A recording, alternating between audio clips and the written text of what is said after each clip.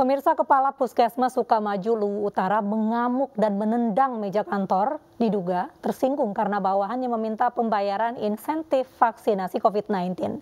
Aksi itu direkam oleh salah satu perawat puskesmas dan jadi viral di media sosial.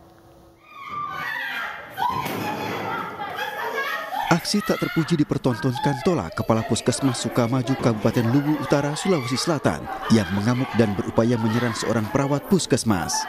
Peristiwa berawal dari honor insentif vaksinasi yang ditanyakan oleh salah seorang perawat bernama Misita. Ia meminta kepala puskesmas untuk mencairkan seluruh honor bagi perawat yang terlibat dalam vaksinasi COVID-19 sesuai surat keputusan. Pertemuan di Uniar. Di Uniar saya membahas masalah pembuatan SK tim vaksinasi COVID, kemudian eh, sistem pembayaran insentifnya, dan itu ada tertuang dalam SK. Itu imbas dari itu kami pertemuan dia emosi. Jadi setiap apa yang disampaikan menjadi masalah jadinya.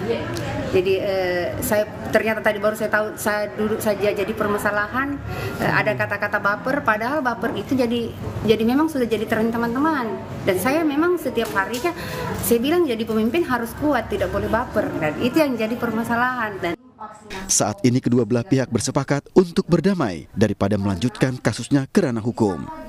Dari Kabupaten Luwu Utara, Sulawesi Selatan, Nasruddin Rubak, iNews melaporkan.